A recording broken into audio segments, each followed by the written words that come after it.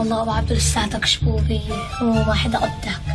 الطفل قصي الذي أضحك المشاهدين في حلقات أم عبد الحلبية لم يكن يعرف أنه سيبكيهم عليه في ثالث أيام عيد الفطر المبارك عندما سقط قتيلا لدى استهداف قوات النظام سيارة كان بداخلها أثناء اجتيازه طريق الكاستيلو هربا من جحيم حلب محاولا ألا يكون رقما في عداد الموت الذي لا يتوقف هناك.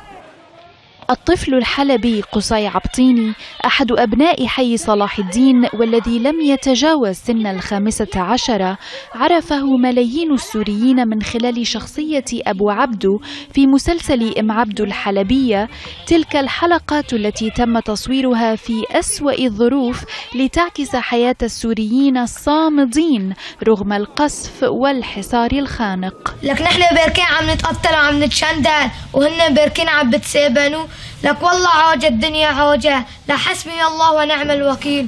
قصي الذي سرقت منه براءة الطفولة بعد أن أنهكته الحرب عرف أيضا بالمشاهد التي وثق فيها واقع حي صلاح الدين. أنا قصي من حي صلاح الدين عمري 15 سنة. أنا لازم أكون هلا بهالمدرسة. بشار أسد قصف هالمدرسة وقطع كروس أنساتي.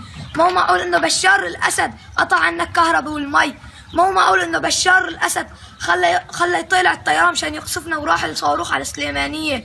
إلا أن قصي لم يكن يعرف أن الكلمات التي قالها تمثيلا ستتحول يوما إلى حقيقة تغيبه عن الدنيا. وعم بستنى بين الدقيقة والثانية يجي شي برميل ويشيلني ويريحني من هالعيشة بعيد الشر عنك أبو عبدو لك تزعلني منك ها؟